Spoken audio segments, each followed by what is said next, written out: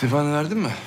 Hazırlatıyorum odana. Odamı mı? Önce dedi ki isim yazdırın dedi. Ondan sonra da belki isim değişebilir gibi bir şey söyledi anlamadım. İsmi mi değiştiriyorsun? Canım ya. Neyse sen yarın pasyonunuza geçiyorsun zaten. Ben Yasemin'i istiyorum. Gitsen mi ki Sinan'a? Ay ya niye geldin bana derse?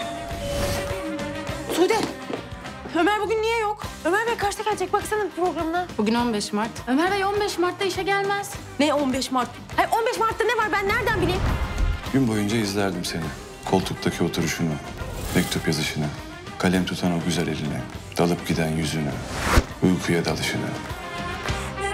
Kiralık Aşk yeni bölümüyle Cuma akşamı Star'da.